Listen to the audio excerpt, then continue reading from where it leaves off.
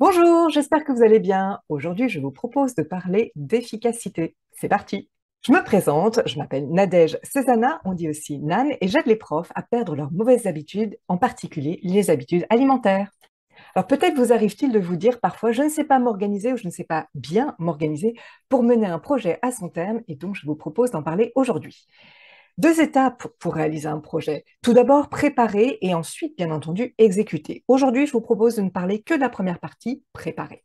Trois étapes pour préparer un projet. La première étant de bien délimiter ce sujet.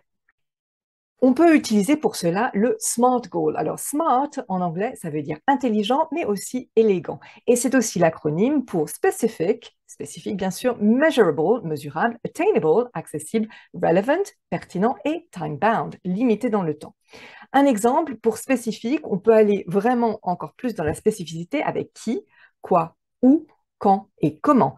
Qui, ça peut être à qui s'adresse ce projet, ce sujet. Alors si je parle du cours que j'ai euh, créé dernièrement, Libérez-vous des tentations, il s'adresse tout particulièrement aux professeurs. Quoi? Eh bien, je leur propose de se libérer des tentations alimentaires, par exemple quand on trouve que le chocolat est irrésistible, ou eh bien mon cours se déroule en ligne, mon programme de coaching se déroule en ligne, c'est-à-dire on utilise Zoom, on utilise des plateformes où je leur partage des documents. Quand Eh bien, quand ils ont décidé de faire euh, ce pas euh, vers moi, ils prennent une séance de découverte. Et comment? Eh bien, tout simplement, voilà, il y a tout un tas d'étapes que j'ai décomposées pour leur faciliter la vie, pour qu'à la fin de ce programme de coaching de six mois, eh bien, ils sachent exactement comment ne plus céder aux tentations que représentent peut-être le chocolat, les cacahuètes, les pizzas, etc. Measurable, mesurable, eh bien combien, à quelle fréquence vous, votre cours, si c'était votre projet, pour combien d'élèves euh, est-il conçu?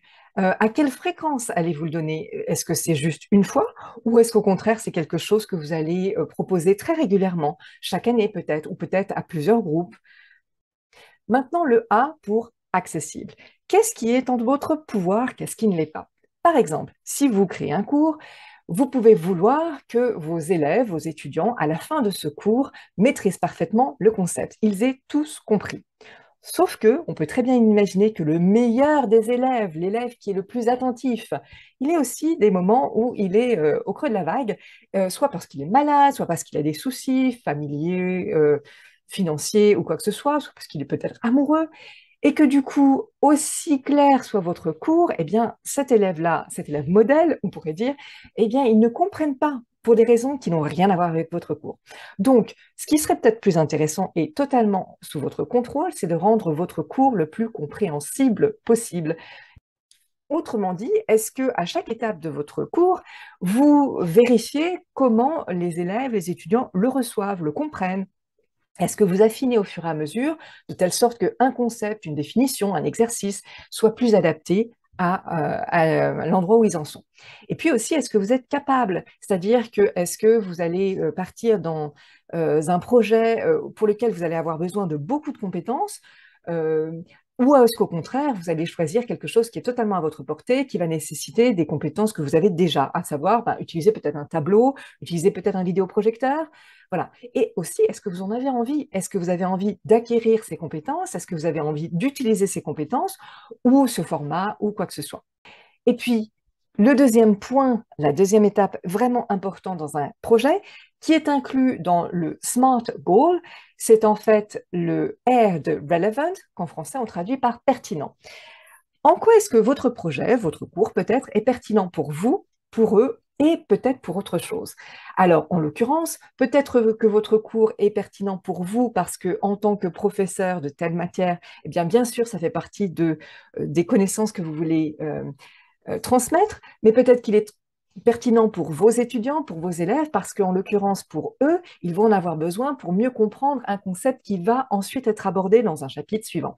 Et puis peut-être ben, tout simplement pour, euh, euh, ben, si je pense euh, à mon, mon cours sur les, les, tentations alimentaires, eh bien c'est pertinent pour mon activité tout entière, puisque à long terme, je voudrais vraiment aider un maximum de personnes à se libérer des tentations de toutes sortes, qu'elles soient alimentaires à la base, mais aussi qu'elles soient liées aux jeux vidéo, au fait de se ronger les ongles, etc., etc. La dernière lettre de l'acronyme SMART, c'est le temps.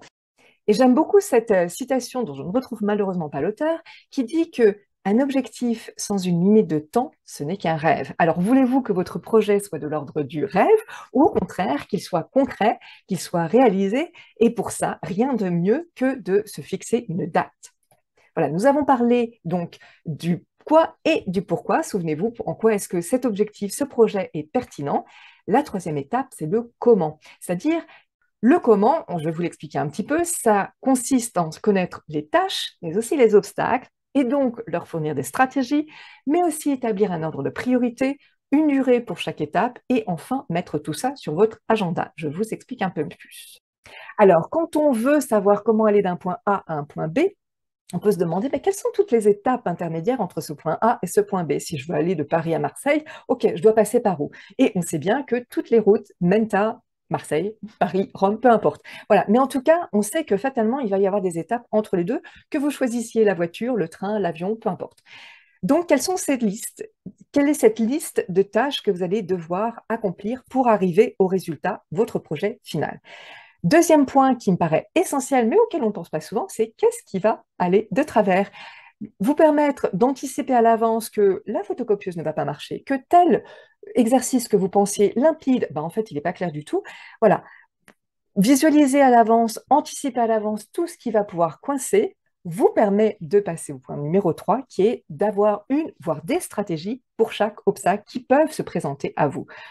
Qu'est-ce que vous allez faire si jamais euh, l'ordinateur ne marche pas? Par exemple, une fois que vous avez cette liste de tâches, qui sont les étapes par lesquelles automatiquement passer, voire les bifurcations que vous allez peut-être devoir emprunter, eh bien, je vous propose d'établir un ordre de priorité. Alors, en deux étapes. La première, eh bien, qu'est-ce qui est absolument indispensable pour partir de mon point A et arriver à mon point B? Et puis aussi, quelles sont celles que je vais pouvoir mettre en premier? Donc, deux choses. Lesquelles vais-je pouvoir éliminer? Et puis aussi, dans quel ordre est-ce que je mets celles qui sont absolument indispensables? Lesquels vont aller sur le podium? Donc, quelle, est, du coup la première tâche par laquelle je vais commencer, quelle est la deuxième, la troisième, et peut-être éventuellement d'autres. Voilà, donc nous avons vu une liste de tâches, la liste d'obstacles qui pourraient se présenter à vous, la liste de stratégies à apporter pour chaque obstacle, et puis ensuite, on ordonne par ordre de priorité toutes ces tâches, laquelle vient en premier, laquelle vient en dernier, voire totalement éliminer? Une fois que vous avez fait ça, je vous propose d'établir une durée pour chacune des tâches qui ont survécu.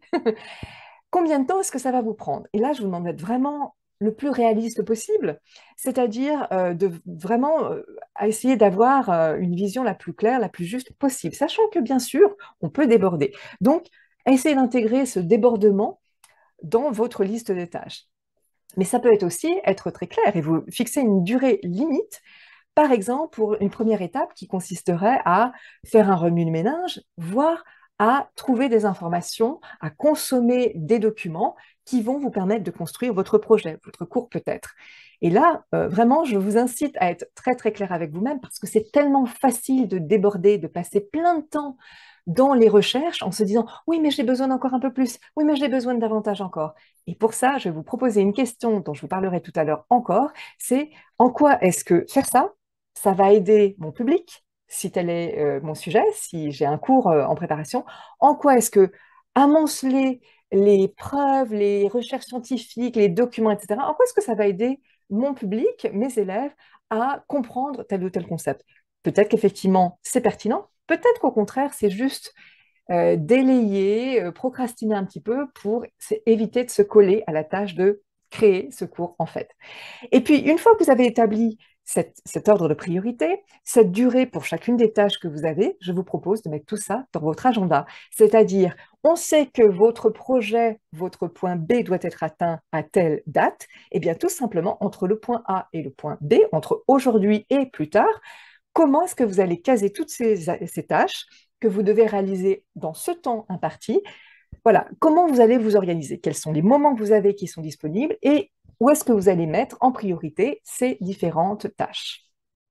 Voilà, nous avons parlé du comment, les tâches, les obstacles, les stratégies, les priorités, la durée pour chacune de ces tâches et ensuite l'agenda. Alors, je vous le disais, les questions utiles que vous pouvez vous poser au fur et à mesure que vous construisez votre projet, c'est en premier, en premier lieu, en quoi cette action m'aide-t-elle à atteindre mon objectif?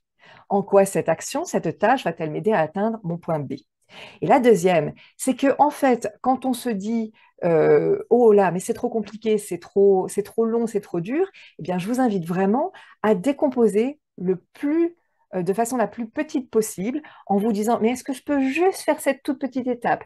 Est-ce que je peux juste allumer mon ordinateur? Est-ce que je peux juste ouvrir ce livre? Est-ce que je peux juste prendre mon stylo? C'est aussi simple que ça, des tâches aussi minuscules que ça qui vont, mises bout à bout, bien sûr, vous permettre de réaliser votre projet. Et voilà, c'est ainsi que s'achève cette vidéo. Un grand merci de l'avoir suivi, j'espère qu'elle vous aura été utile. Si jamais vous avez la moindre question, si vous avez des remarques à me faire, si vous souhaitez que je traite un sujet, n'hésitez pas à m'écrire nscoaching.outlook.fr. Je serai ravie de vous aider à partager au mieux toutes les connaissances que vous avez.